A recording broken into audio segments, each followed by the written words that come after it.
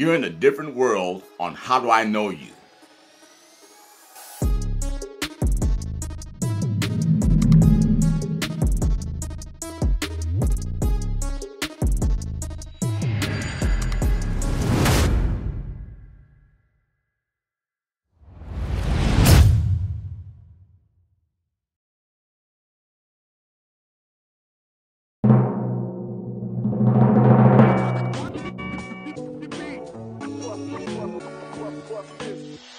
Dawnn Lewis is a multi talented and multifaceted award winning individual. A Trumpet Award, Grammy Award winning singer, multiple NAACP Image Awards, BMI and ASCAP Award winning songwriter, film, television, and stage actor, a series TV creator slash producer, and an inductee into the Women's Songwriters Hall of Fame 2021. Her early career includes being an original cast member of Hanging with Mr. Cooper and the groundbreaking series A Different World. Also composer of the show's theme song. Dawnn's most recent projects include the original Broadway cast of Tina, the Tina Turner Musical, a special appearance on 911, and a recurring role in the award winning series Grey's Anatomy. Currently, she can be heard on several animated series, including Star Trek Lower Decks, Futurama, The Simpsons, and Karma's World.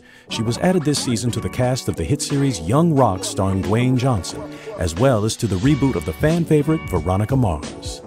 Dawnn is the president and CEO of Morning Jewel Inc., a multi platform production company of film, television, animation, music, and music publishing projects. She is also the founder and CEO of the A New Day Foundation, a nonprofit organization whose mission is to provide empowerment and programmatic support to underserved youth and communities across the country and abroad. In 2019, Dawnn received an honorary doctorate in humane letters for her more than 35 years of unwavering service and support to underserved youth and communities. Dawnn serves on several boards and is a spokesperson for a variety of organizations, such as the National Advisory Board of the National Center for Civil and Human Rights, the SAG AFTRA National Board of Directors, the KIS Foundation for Sickle Cell Disease, UNCF, American Heart Association, American Cancer Society, and the Empower Her Institute. Dawnn also finds time to teach master classes, mentor youth, and give motivational lectures.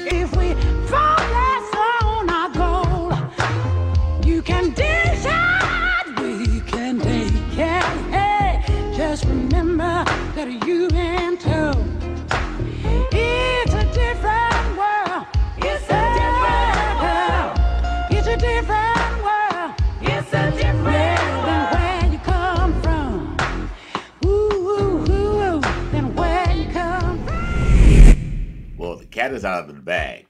I mean, that gentleman's voiceover, that introduction told you all you need to know about this dynamic lady, my friend, our guest today for How Do I Know You. Woo!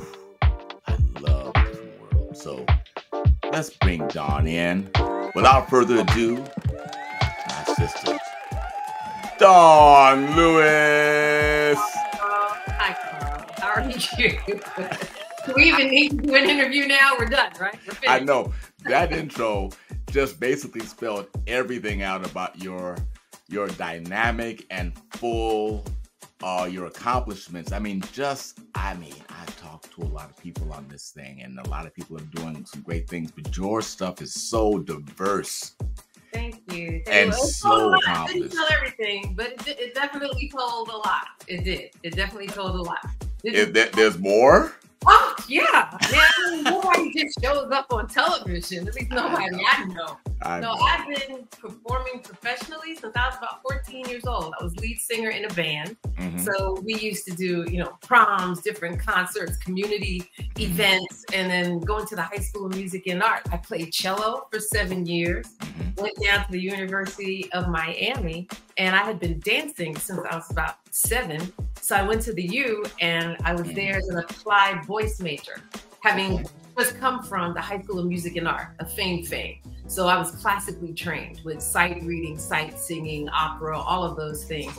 And so when I went to school in Miami, I was only 16 when I started college. Right. Uh, the degree program, the applied voice program, was basically for classically trained singers. But I had already been doing so much. I've been singing R&B, you know, I've been dancing, I've been acting. So I kind of erased half of the classes that I was required to take for my major because I had already taken them. I wasn't going to go backwards. I already had these classes in high school. I'm taking take, taking them again. So I wrote in the classes I wanted to take. I wrote in acting classes, dancing classes, jazz, vocal, all these other things. And uh, I got called into the dean's office. Uh, I was there for about four weeks and got called into the dean's office and Wow. got a speech saying, Young lady, we were reluctant to admit you because you're so young. But the one thing you can't do is come here and not go to class. I'm acing everything. She said, Well, in this class, this class, and this class. Oh, I'm not in that class. I'm in this class, this class, and this class. And I said, Well, who told you to do that? I said, Well, nobody told me to do it. I'm paying for school, college study, and student loans. I said, I figure I'll take the classes I want to take. At 16. Right then and there, uh, they told me that they had been in conversations with the School of Fine Arts for a couple of years and had been thinking about starting a new degree program for people like me that had multiple disciplines. So I am actually the founder and first graduate of the musical theater degree program at the University of Miami. And it, it went from there. Graduated magna cum laude uh, and doubled my curriculum. I minored in journalism. Mhm. And uh, yeah, and a couple of years later, I was on television. So I came home, was had a record out. I was 20 on Billboard with a bullet, won the Apollo, uh, was recording and writing for different recording artists. That's what I thought I was going to be doing. I thought I was going to be a recording artist. Well, you know, I, I'm glad that you left uh, so much space for us others to come in and kind of squeeze into the because you just just the the dynamism. Okay, let's let's let's go and I, you know, okay, you got me started really good. Thank you. Let's go back a bit to Okay. to to Baby Dawnn Lewis. Where was Baby Baby Dawnn Lewis born? Where, in Harlem, right? Baby Dawnn was born in Brooklyn, New York. Brooklyn. Bed-Stuy. Okay, my bad. Bed-Stuy, do or die. My mm-hmm. family is from South America. So myself and my brothers, I have three brothers. We're the first in our family born in the States. So my family is from Guyana. And uh, yeah, so we were the first born in this country. Um, in, you know, neighborhoods that you don't, people don't expect you to aspire Mhm. you know, to talk about film and, and television and, and music, you become a nurse or a teacher or a technical worker of, of some kind or a city worker or a sec- secretary. And all of those jobs are absolutely vital. We cannot function as a society without different people to fill different lanes. That just wasn't my lane. And my mom saw that, you know, from the time I was very, very young. Like I said, I have three brothers uh, and I wasn't allowed to go anywhere or do anything unless my brothers took me. They had to watch their sister. Uh, my mom raised us as a single mom, uh, house uh, of domestic violence. Okay. Uh, so when she was able to get away from my dad uh, to save her life and to save us, which non sequitur was one of the important reasons why I wanted to do the Tina Turner musical. Because Tina's journey, my journey was so much like hers, being raised in an environment of, of violence and your mom leaving. My mom literally left us for almost two years in order to save her life. Um, and Tina's mother did the same thing. Uh, so she, but she and her mom never really seemed to reconcile. And then she, in turn, went into a life of domestic violence and ended up having to leaving to save herself, to save her life until Right. she was in a better position to come back and be with her kids. The little girl in Brooklyn, uh, always surrounded by groups of boys because of my brothers. Uh, I was always tall for my age and very athletic. I played basketball, stickball, handball, all of those things you, you do in the city. Uh, my mom looked at me one day and I was surrounded by like 10 guys. And she said, Something has got to be done. I got to have my daughter out of the middle of all of these boys. So she sent me to dance class. I've been dancing since I was seven. But you went you went willingly though, right? I mean, she sent you there to get Oh, you boys, or was it something you wanted to do? I absolutely loved it. She took me to a dance recital. A friend of hers, their daughter, was in this dance school. So I went. It was at the, at the Brooklyn Academy of, of Music. And when the show was over, I was like, "Mom, I wanted." My eyes got so wide. I want to do that. That's incredible. So at seven years old, I'm riding the Brooklyn city buses by myself from Bed-Stuy all the way down to East New York to go to dance class. Can't do that anymore these days, can we? No, Yeah. little kid onto a bus. Uh, the young lady lady was a little, little older than me, so I would ride two or three stops by myself. I would have to be on the bus at a certain time, and then she would get on the bus, and then we would ride together. But even then, I was still going to elementary school, on, on the public school, on the city buses. We didn't have school buses taking you around Brooklyn at the time. Um, so that's that's young. Dawnn started writing music. Yeah. Uh, how, how when you start writing music, Dawnn? Pardon? When did you start writing music? I well, I started singing at four, and I started writing music. I had one of those little Magnus boards.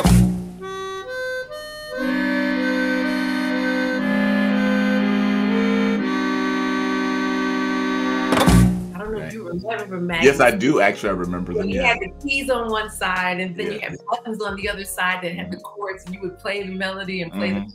I had one of those, so I started writing songs. I think I was about seven or eight. My first song was about like seven minutes long. It was about Mhm. Noah and the Ark, and had about forty-three verses. And people indulged me and sat and listened all of my verses. And I was writing poetry. Uh, I was published in a book of up and coming young writers, a compilation book, by the time I was 15. Yeah. uh, So, yeah. Well, Dawnn, you know, um, wow, you know, I've known you for a while, and I've always known that you were supremely talented, but I didn't, was not aware of the depth of it, nor the, the history that you just laid out. So let me just pivot a bit, just and then come back again. So the name of this this conversation, this podcast, is not really a podcast because we're on YouTube and I'm not on an audio platform yet. Is Right. how do I know you? So in our case, our answers could be different, and I have a little story to tell you regarding Okay. how I met you. So, in your mind, how do I know you? Oh my God, Carl. Uh, honestly, I don't even remember how we met. I know, no, seriously, I feel like we've known each other for so long. I don't, I'm sure it was because of mutual friends and some kind of mutual social setting that we were all in the same place. And when you introduced yourself, I no doubt said, "Oh my God, that's my dad's name," Right. because we have his name, Carl. Yes. And uh, Grace of God, I mentioned him just a few minutes ago, but Grace of God, my dad was able to learn to become a better person before he passed away. you So, told the story at Bishop Ulmer's retirement. That's right. That's right. That's I right. sure did. Yeah. I sure did. Uh, help Daddy really embrace and not just show up in church, but embrace his Christianity, to embrace how God can actually change you and improve you and better you. And um, grace of God, yeah. That's he right. found that, and Bishop Ulmer was a really strong part of that as well. And my mom, my mom is probably one of the most amazing people I have ever known. There has never been any reason why my mom should have been friendly to my dad or even courteous to my dad. But my mom never stopped praying for my father. She did not deposit ugly, harsh words about our dad uh, into us, me and my, and my brothers. The one thing she did say was that when she would be really strict, I would say, I'm gonna go live with daddy. She said, fine, I'll help you. and then you think, about it, yeah, but like he like hits you. He, Oh my Duh. God. yeah, you know what? I think I'm a, okay, what did you want me to do, mom? All of a sudden, Exactly. Exactly. I ain't going over there. I ain't going over there. Because he was really charming. He's just one of the most colorful, wonderful, embracing people. But he had this other side that was just really unfortunate. So, like I said, but gratefully, grace of God, he was able to turn that around. So that's a long answer to your question, and the answer still remains: I don't remember. Okay, so okay, I'm I'm I'm gonna, I'm gonna give you some a little bit of um, color. Okay, all right. All right, this is kind of the charm and the blessing of my personal career and my life uh, as an entertainer. So obviously, when the different world was on, I was a huge fan. I was one of those, you know, people who appointment television, Cosby, Different World, and I watched every episode. I, I, I didn't miss an episode. And um, full disclosure, I had the biggest crush on you ever. And people were crushing Lisa Bonet and everybody not and Jasmine got like, no, no, no, no, no, no, her. you know? And so that was one part of it. So this is part one. I never knew that. So this is true. So then I but I didn't know you. So I went to this. Now you may not remember this event, but it was at the um oh, the townhouse. Remember that that club in, in Inglewood? Yeah, down okay. La, La Yeah. Yep. So I went to the townhouse one night and Rod, uh, Howard Hewitt was singing. I remember the first time my day. Mm-hmm. And I saw you there. And that was the first time I ever saw you in person. I'm like, and you went and you went to your car, and I actually followed you out, and I was just to say oh, hello no. to you. We didn't really meet, but just to say hello to you. So that's part two. So finally, here is the thing I think happened. So Atleen Hunter is a very dear friend of mine. Mm-hmm. And mine. And yes, and one of my mentors and my directing mentors. When I direct theater, you know, I have to say that I kind of pattern my style between her and Bill Duke and my own personal style. And uh, I know you knew her, and just we're in the same space. But I think the thing that really clinched it was Faithful Central, because ah, I think that that's really what it was. I think that somehow through the machinations of Faithful Central, going to church every week, we maybe found ourselves in the same space. And and I had I, I led the drama ministry there for like ten years. Mm-hmm. And so I think that through those kinds of interactions is how we actually met. Did you direct? We did a video with mm-hmm. Tracy. Tracy, I forget what it was. It was like a, a street type setting. Um, because we did it with the drama ministry and the music department. It was it was a music video. And I had just torn my Achilles tendon and I was on crutches. And in between takes, I'm hopping around on crutches. And as soon as they said action, the crutches threw to the ground. And I'm Hilarious. Hilarious. And they were like, okay, I was like, cut, give me my crutches. I don't think I did that one. What, what do you remember what year no. it was? No, no, that had to be in the late 80s or probably early 90s. No, no, I, I came on uh, 2006. Oh, and, no. we, and we established uh, uh, a ministry called the FCBC Repertory Company. Repertory Company, right? Yeah, and I started that. I started in 2006. I led it. I led it from 2006 to 2016. Okay. And so, and that's when we did those panel days. I think you came in for one right. of those. So that was our ministry. So okay. that was that was kind of how I think it happened. But yeah, you oh I had this it was ridiculous. Yeah, I had this huge crush on you, Dawnn. It was crazy. So yeah, I don't want to embarrass you nothing like that. And, you know, we old now, but this, this but but it just shows you how how these circles are so small. Yeah. And how you just kind of become and there friends. You are. And there you are. And the thing is, it doesn't surprise me that you don't know a lot of this stuff because generally with my friends, I rarely, if ever, talk about business. Right, right. We talk about life, we talk about family, we talk about mutual interests, mm-hmm. we talk about fun things we can do together, we go to parties, we, we dance, we share meals, all those kinds of things. And uh, to me, that just keeps my, my personal spirit full. That as it should be, you know. I, you know mean, I mean, and not comparing who's done what and who's been where and who knows who. I mean, there's a time and a place for that, mm-hmm. but uh, a lot of people don't know unless you've been on the journey with me. Like mm-hmm. there's even a Howard Hewitt story. Why I was even at the townhouse with Howard is because when Jody Watley left Shalamar, mm-hmm.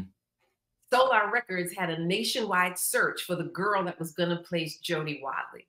So at the time, I think it was 1984, I had mm-hmm. literally just graduated from college. I was working as an office temp in the World Trade Center. And I Okay. took temp jobs. so I could still go to auditions and still go to dance class and still Mhm. do all of those things.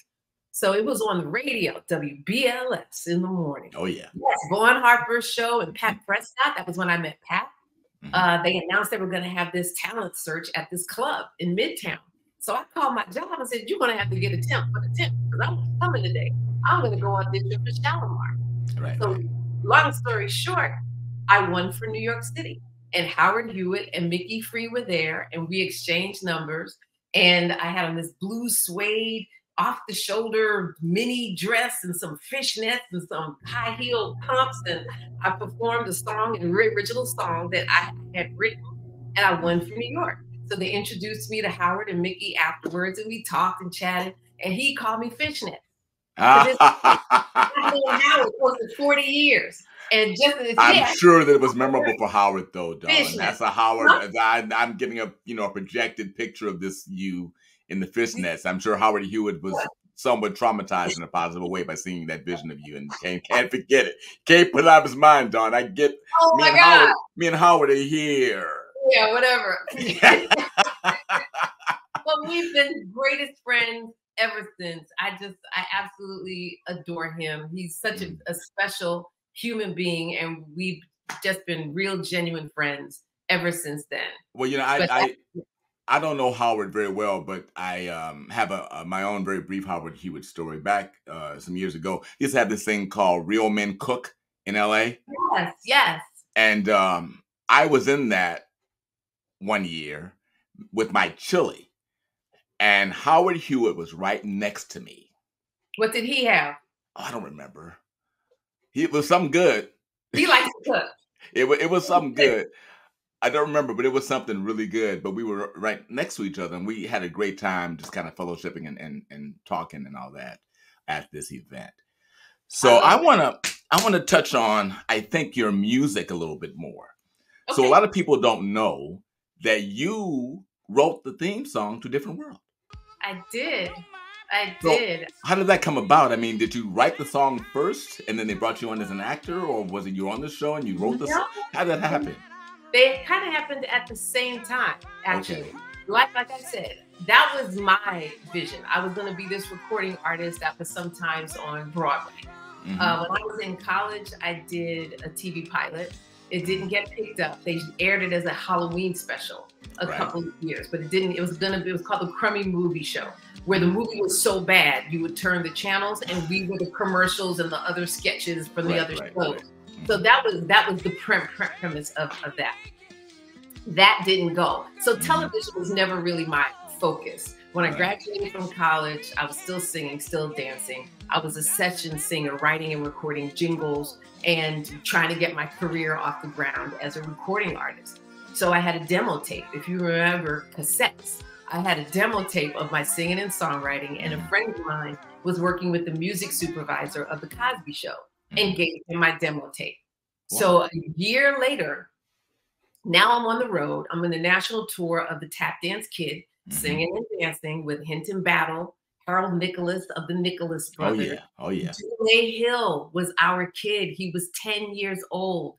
Dule, I was in my early 20s. So that's like my little brother.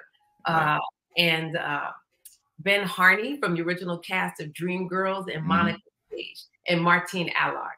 Okay. So I'm on the road. So I hear while I'm on the road that they're going to be having this spinoff of the Cosby Show.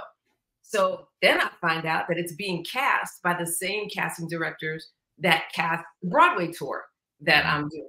So Okay. I called and said, "Can I please audition? Consider me." They said, "No, Dawnn, we love you. We love just right where you are. ah, You're doing a great job in the show. You stay right there." Okay. And I'm like, but uh, okay. So the, the tour ends. I've been calling the whole last three months of the tour. They're like, no, no, no. We want everyone to be Lisa's age. And my response is, well, everybody can't be a fresh freshman. I'm only Right, two right. years older than she is. Somebody has to be a sophomore, something. right, right, right. Nope. So the tour ends. I got three weeks left to unemployment. And I get a call from the casting directors. Are you still interested in auditioning? Can you come in tomorrow? right. Yeah, sure. I will be there. Great. Right. An hour after they called me, the musical director calls me and said, Look, I've had this tape for about a year. Are you the same person that is singing and that wrote these songs? I said, Yeah. He said, Well, would you be interested in working with me on the music for this new Cosby show? Mm-hmm. I was like, Yeah. And now I thought, no, no, seriously. I thought it was some friends of mine playing a trick on me right. because that, that just doesn't happen. He said, Well, this is the premise of the show. I'll send a messenger over with some music, see what you come come up with, and I'll see you in the studio on Friday. This right. was on a Wednesday. I said, Well, you don't want to meet first to see what I write? He says, No. If you wrote this stuff, you can do exactly what I need done. I'll see you in the studio on Friday. So I called the casting directors back and said, Did you just call me? They said, Yeah. Is there, is there a problem? Can you not come? I said, Oh, no, no, no. I'll, I'll be there. And sure enough, an hour and a half later, a messenger was at my house dropped off this cassette and my mind is like, what is happening right now? Okay, all right, I, I need some guidance. So right. literally, if I knew nothing else from the experience that I'd already had in the industry, I knew I needed to get a contract. I needed to get representation. I didn't have an agent mm-hmm. at the time. Um, so I went through the yellow pages to try to find an attorney. Right. And I thought, I studied a book, This Business of Music, while I was in college. That was part of my degree mm. program. So I looked up who wrote this book, and the lawyers actually had an office in New York City. Andy Feynman and Bill Krasilovsky. Okay. I looked them up, called them, and said, "You don't know me. I just graduated from college, but I just got this offer to do this thing, and I know I need some help. Do you have free legal aid? Do you have what? What, what do you have?" They said, "Well, can you come into the office tomorrow? Just tell us what's going on." Mm-hmm. I said, okay. I went to my audition.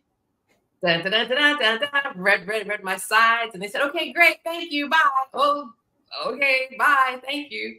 Went to the attorney's office, ran the whole thing down to, to them, and they said, well, we will be happy to represent you. Mm-hmm. I said, okay, no, you missed the part where I said I don't have any money. I, I got out of school. I can't pay y'all.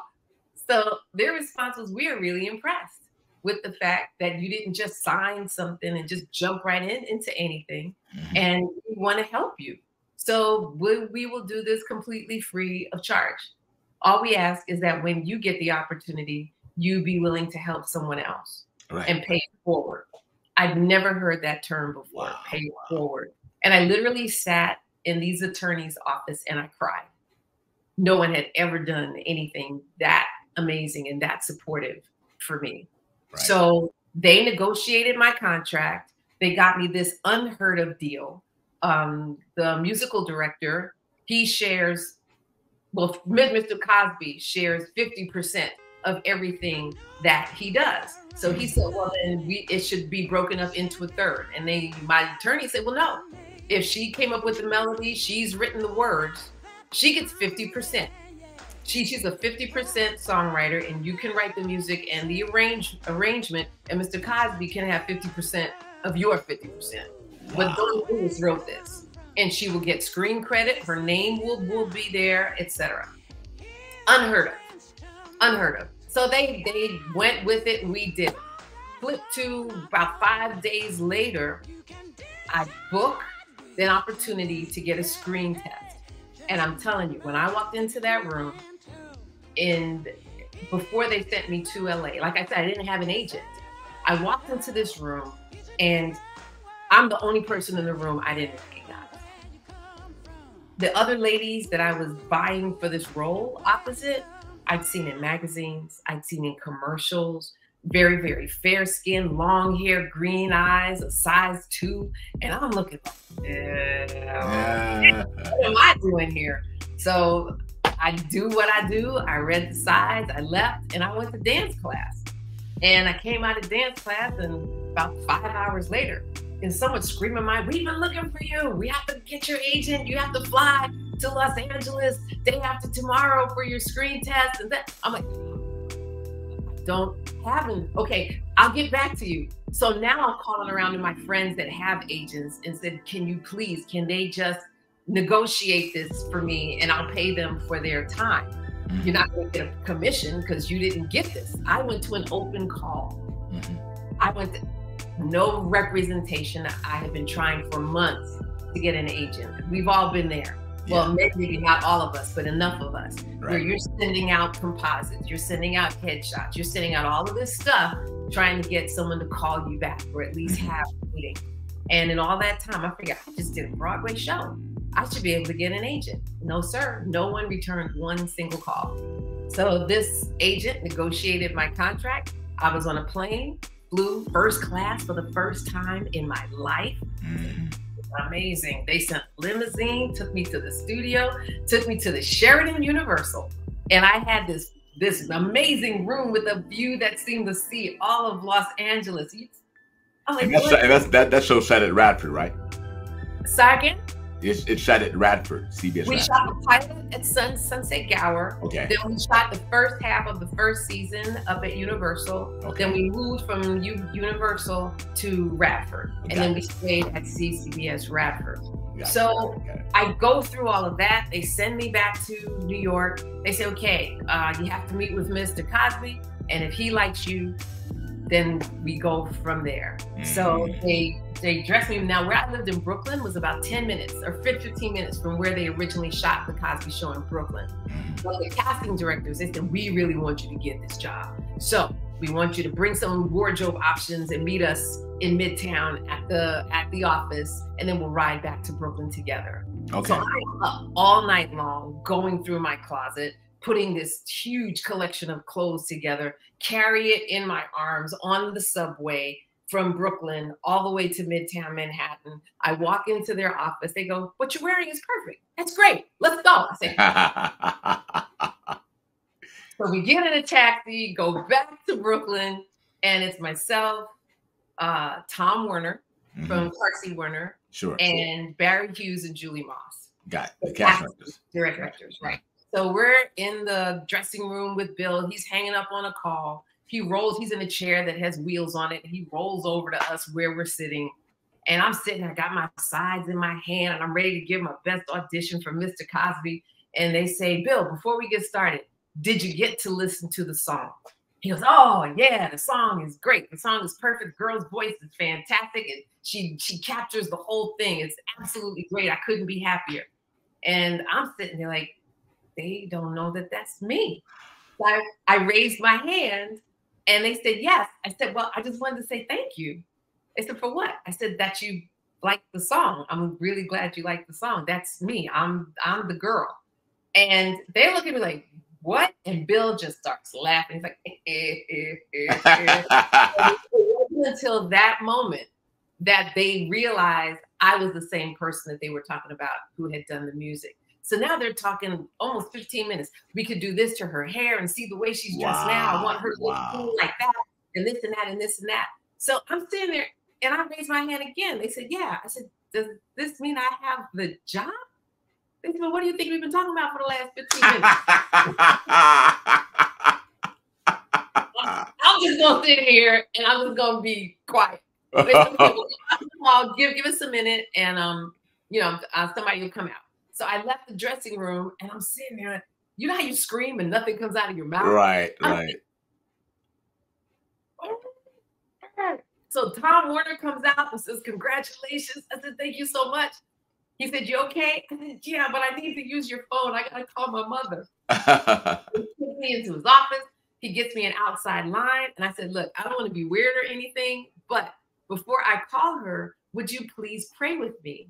Wow. And Tom looked at me I said, I'd be happy to. So we sat there and prayed together. I couldn't believe it. So I called my mom. My mom was an OR technician at the time. Mm-hmm. She always wanted to be a surgeon, but women surgeons, especially women of color, mm-hmm. were not encouraged or supported back in that, that mm-hmm. day.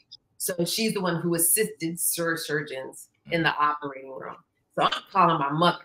And the nurse answers, she said, Well, Dawnn, she's in surgery right now. I said, I don't care. You got to get my mom out ah. here right now. So my mom thinks there's something wrong. So she comes right. to the phone. Yes, yes, Didi, what did I said, Mom, I got the job. Not only did I get the job, but they also love the song that I wrote. It's going to be on the show. I'm going to be in the show. I said, I don't think they're going to let, let me sing it now that they know I'm the same person uh, they did say something about that, but uh, so that's why I ended up not singing the theme song because they thought that was just that was too much attention on me and right. it wasn't my show. No, right. Um, so my mom is like, "Thank you, Jesus, oh Father, me, oh Father, Father blessings." And so she's carrying on in the in the hospital. I'm crying in Tom's office, and two days later, I was back on a plane, back in LA. Me and Mar- Marisa Tomei and Lisa, and we're shooting the pilot. And we shot. We worked for about uh, maybe like six weeks, mm-hmm. and then the production shut shut down. We had a black exec producer by the a man by the name of George Crosby, mm-hmm. and they replaced George. We were shut down for about a month. They replaced George and brought in Anne Beatts. Anne Beatts, right. And then Anne Beatts came in, and she's the one who brought in the Whitley character and and Dwayne Wayne and and Ron and Millie, who was. So they weren't in the they weren't in the pilot then. Well, no. What what happened was when we originally shot, no. So what, what they did in order to salvage the episodes we had already shot, they reshot certain scenes to include those cast members in them. So it looked like we, we were all there together okay. from the very beginning. But yeah, that was that was how the show started. That is a great story. Um, I've never heard it before. Uh-huh. So I think it's going to be a treat for for my my people to hear it because I've never heard that. So listen, I'm going to ask you a couple more things. I want to touch on your philanthropy as well, but I want to ask you just a cold question. I want you to look at the screen. What about this? Can you tell Hang me a little bit about that experience? Hang with Mr. Cooper sing, recording that, that theme theme song. That was a lot of fun. That was a funky theme song. It was. Um, it ended up being uh, after all was said and done, the show was really funny. The show was really good. The show was really a challenge to work on. Okay. It really was a challenge to work on. And the biggest reason I was there was because I was ready to move on from a different world. Mm-hmm. Uh, a different world started with a cast of three. And by the time I left, it was a cast of 14 where they really only wrote for two P people. Right, right. Um, right. It was an insanely talented group of people, but as an as an actor, it's like this um this is not doing anything. Mm. I I want more out of my career. I want to do more. I want to participate more. While I was doing the show, I had started doing voiceover work. I yeah. was still music. I was writing and producing for different recording artists. Um, I had recorded with Patrice Rushen, Quincy Jones. I won a Grammy working on the Handel's Messiah project with Quincy Jones and was that the one? Was that the one um, with all these different artists on it, like Yellowjackets and mm-hmm. Al Jarreau? Was Al Jarreau that yeah. right? Yeah. I have that. I saw love that CD, especially around. Christmas. It was part of my Christmas collection. There you go. There yeah, you go. I. I was yeah. doing that, writing and producing with Grover Washington Jr. and Nancy Wilson and Everette Harp. I mean, that's what I was doing because I really wasn't doing much on the show. And this was more of the fullness of who I am as, as an artist. And uh, every record label I went to have a meeting with would put out some kind of press release saying I was signed with them when I wasn't signed with them. We had just had a meeting and so it just became this endless circle of um, it didn't look like that vision for myself was going to manifest. But as far as doing concerts and singing on other folks projects i was still doing that. And i still do do do that to this to, to this day. And, so, and voiceover and animation as well. Uh-huh, uh-huh. Absolutely. My very first voiceover gig was Kid 'n Play's cart cartoon. Okay. And i played one of their uh one, one of their partners in crime in their in their little group dance music group. Uh, Suzanne de Passe got me that opportunity. Okay. Um, so I had been trying, quite honestly, to get out of my contract of a different world since the third season. Really? And they would not let yeah, they would not let let me go. They said, Nope, the fans love you, you're an integral part of the show. I said, Yeah, but you guys aren't writing for me. I'm sitting in my dressing room. I walk in the room and give punch punchlines. You dress me like my my mom. I'm the thing. I'm younger than two thirds of the cast. I'm just taller than everybody, but y'all are playing me like I'm some kind of old woman. I said, can I please? I mean, either write something else or just let let me go. And they wouldn't. So finally, at the end of the fifth season, I went to them again. I said, please, just please let me go. And they said, all right, we will let, let you go if you come back with another contract opportunity. And there were only two weeks left of pilot season. So I honestly don't think they expected me to be able to get anything. Right. And within a few days, I got offered to hang with Mr. Cooper. So I was like, okay, can I go now? so you left. So you left. You left Different World while it was still in the air. Oh yeah, I wasn't there the final C season. I was there C seasons one through five. Wow, I don't remember that, but I, you know, I do remember you not getting a lot of screen. You know, now that you mention it, that's exactly what you would do. You walk in and deliver a punchline, and mm-hmm. you walk out. You, you mm-hmm. know what? That's easy money, but it's not very fulfilling creatively, huh? No, I mean, no. So, and I had heard rumblings that the Cosby Show was going to be canceled mm-hmm. that following season. So I said, okay. The one thing I don't want is if they cancel Cosby, the network was never very supportive of us or our show. Yes. If you remember back in that time, we didn't have any print ads, we didn't have billboards, we didn't have the hour long special, The Cast of a Different World Goes to Europe. Uh, we didn't have commercials, but the fans absolutely loved and supported our they show. Did, did, so there was no doubt in my mind that once the Cosby, that once Mr. Cosby's deal was done, they were going to let us go exact as well, which is exactly what happened. We had one year after the Cosby Show was canceled before A Different World was canceled, even though it was so successful for them. Mm. They didn't want to do it. So what I didn't want was to be unemployed at the same time as the other 14 principals. Ah, yeah, yeah, yeah. Let me go now. So I went over to over to Cooper, and um, it was it was a battle. It was a battle. Uh, it was a show about three young people of color, but the creative team was they were white. They were all white, right. primarily men. Mm-hmm. Uh, a few episodes in, they brought in Yvette Lee Bowser. They mm-hmm. brought in one other black writing team, but it was a battle every week about what is insulting to black people and what we don't want to be seen doing or saying. And we had a director early on that never read scripts, would come to the set referring to Mark as the dumb nigga on the set. What is he going to out loud yeah, it was it was it was not lovely. It wasn't. And um yeah, so I was like, you know what? I don't know that I want to be here either. And mm-hmm. again, they did not want to let me go. They said, nope, you're one of the reasons everybody watches the show. We are the oh, highest think, yeah. series on any network. And then Bernie Mac called me, wanted me to play his wife in his new series. And um, I said, look, I have this opportunity. And y'all, please, you you have every right to do whatever show it is you want to do. But just, you know, go ahead and just let me nope, nope, nope, nope, nope. So I had to pass on Bernie's show and one other show. And then the day before upfronts, I got a call from one of the producers and said, you know what? We've decided to go in a different direction. So your character won't be coming back. And that's how they let, let, let me go from hanging with Mr. Cooper. They made sure I did not have another job to go to so that I would not be competition for them to have to explain why I was no longer on their show. And uh, then people were asking, but she was so good. What happened? So now they had to come up with a reason. Mm-hmm. So now you go down that uh, unfortunate road in Hollywood that sometimes happens where when people don't know what else to say or don't want to take the onus for what's happening, they put the blame elsewhere. So, Carl, you've known me for decades. Yeah. decades.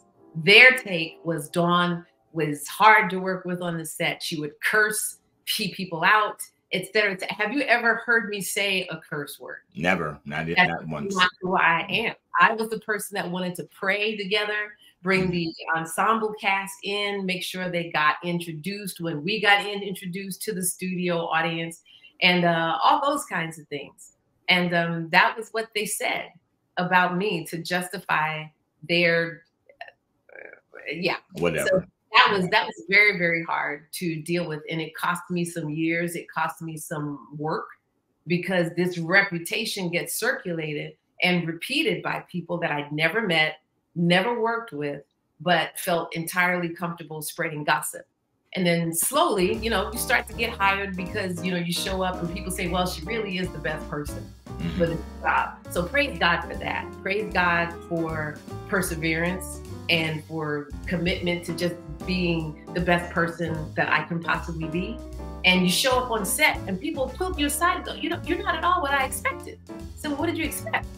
Said, well, I heard you were difficult and, and mean and this. You're like, you're one of the easiest people to work with. You're so nice. You're so prepared. You're so kind to everyone. And that's, I said, I don't know what to tell you. So, you know, slowly but surely the truth went out. And uh, like I said, grace of God, He has kept me sustained. He has kept me working. He has opened more doors for me than I ever could have envisioned for my, myself. And, uh, you know, I'm grateful. I really am grateful. Well, God is the ultimate provider and opens doors. And so, Mhm. you know, men do things in block, but God knocks those blocks down and Mhm. creates other opportunities. And that's exactly what you've experienced. And I've experienced that as, as well in my business. So, last thing I want you to talk about, I'm going to put this on the screen. I want you to tell me about this. Here it goes. Okay. Ah, New Oh, Day Foundation. The New Day Foundation. Well, the New Day Foundation is basically the formalization of work that I've been doing ever since I was a kid. And that's doing what I can to speak positively into the lives of children. Because, as I mentioned before, that's how I came to be the person that I am today. The community that I was raised in, even within my own family, it was not encouraged to be creative, to be spontaneous, to be in the arts. Um, certain very religious people, even in my family, would tell me to my seven year old face that, you know, you stay in this environment, you're going to go straight to hell. Oh, yeah. going to use you because that's what this environment provides. Nothing good comes out of this environment. But my mom always said to me, Dawnn, the gifts you have are only blessings because God blessed you with them to sing, to dance, to act.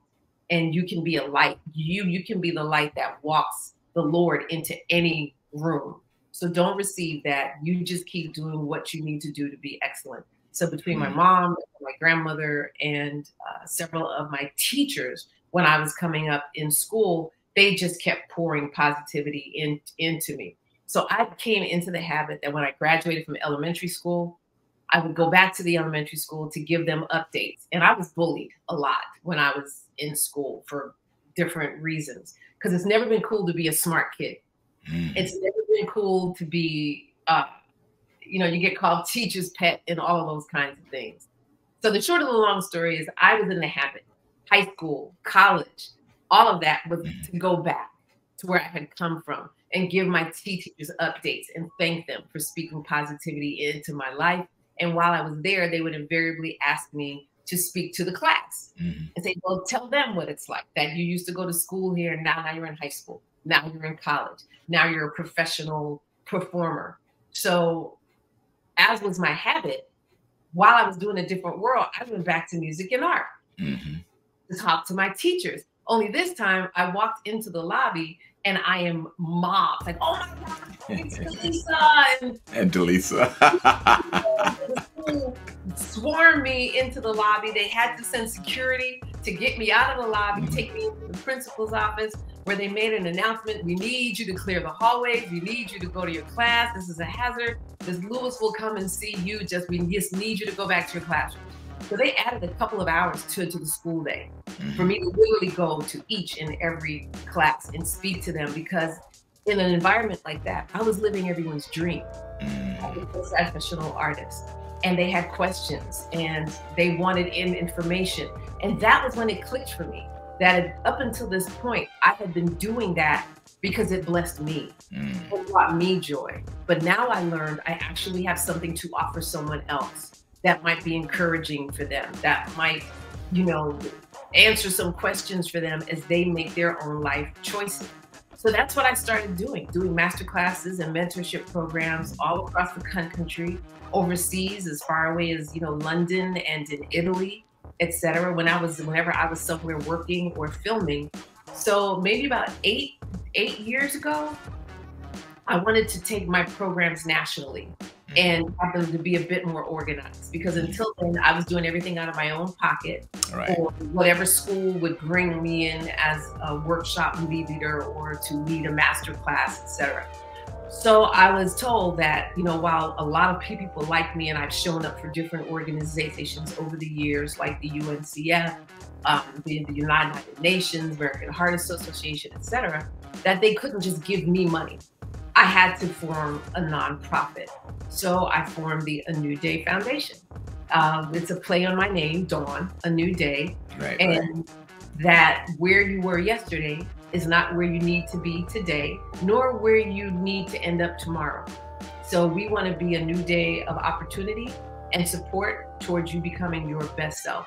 So we have programs for teen girls called Sisters Hangout and teen boys called Mentors, M E N capital T O R S. Mhm. That for men talking of relevant situations. And we give them well, what we call experiences every quarter, where we introduce them to different cultural and career opportunities that they don't necessarily get exposed to. We've done everything from taking them into the recording studio and teaching them how to make and produce their own animation video game projects, to coding workshops for girls, to camping, to the Bill Pickett rodeo, all the way down to City Hall so they can see how government works. Uh, this summer, we're going to be doing a program, I believe, with the NBA Mhm. and their mentors. And then annually, we do a conference called Focused and Fit for a Different World, FIT, which stands for Financially and Technologically Informed. And we hold it on a college cam- campus every year. And it focuses on financial literacy and technology. We also give them workshops in health and wellness, making healthy choices as a young adult, as well as motivation, activation, skill set management. Now that you've got all this great inf- information, how do you apply it so that you actually get a positive result? So it's for high school juniors and seniors and college freshmen and sophomores. And this is all ongoing. This is all ongoing. We just had our conference a few weeks ago. Wow. We had it on the USD campus. We give out anywhere from six to 12 scholarships of $2,000 each and a new computer. Mhm. Uh, for the high school students, they get to bring their parents. So we have workshops for the parents as well, so that that whole household goes home informed about how to get their young person to and through college. And most of them, their kids, you have more than one that's going to be on this path. So now you've got information that can prepare you and set you up better for your next child or for your niece or nephew or for someone else in your community. And we've been doing this now for, we just had our sixth conference. So in the six years, we've given away well over $200,000 in Wow. scholarships and computers and music equipment, etc. So yeah, that's the A New Day Foundation. And everything we do, we do free of charge. So all of our fund fundraising goes towards financing these programs. So when we make it available, all you have to do is show up. All you have Dawnn, to Dawnn, I'm gonna tell you that is awesome. That is awesome, and it's so important, vitally important to give back to our youth. And then in your case, you know, you have a national nonprofit, but you went back to your home school yeah. and spoke and spoke life into those those kids where you came up. And that's so, so important. So I really applaud you for that. And I wanted to really get into that. And I even learned a lot more than I thought I was going to learn about this. And so I, I want you to hopefully, well, you can text me any websites or anything I need to know so that people can can can contribute or can make a big part or whatever. It's they can donate right there on the site. It's www.anewdayfoundation.net. So you can either donate right there. The mailing address is there. If, if you want to send us um, a, a, a check or write us for any information, yeah. So we try to, like I said, we try to do what what we can to make it as easy as possible. But it's more than a notion. I'm not gonna lie. Hey, listen, Got 18 jobs. It's Nah. yes, yes, and that, that's your that's your South American roots. Oh, That's that's your that's your heritage at work right there with all these things you're, you're doing for Wow. sure. so Dawnn, I want to thank you for being a part of this effort, for coming on to my conversation series. How do I know you? You are as lovely as always, and I'm glad to be able to get to know you even more Yeah. and yeah. uh, what I have known over the last couple, couple of decades that we've known each other. Thank you so much Oh, for caring enough and inviting me to be here. I always enjoy talking to you, you and your your beautiful wife, and so many wonderful. No, seriously, so much love and peace and gems and pearls of of wisdom and contentment and and hope that you guys provide in in your in your postings and different mm. things like that. It's just really really beautiful. It really is. It's a pleasure to know you and call you my my friend. It really yes. is. Ditto ditto several times over, my dear. so, like, enjoy your event tonight. Thank you. And uh, thank you for being here, Dawnn. Peace. Peace and blessings. Okay, you too. Bye. Bye. All right, there she goes. Wow. All I can say is wow. Dawnn Lewis is the true business. When we were, when I was re, re, researching Dawnn Lewis, I said to myself, this lady here is powerhouse beyond compare. And now you see it for yourself. So, another edition of How Do I Know You? Thanks for being here. Peace.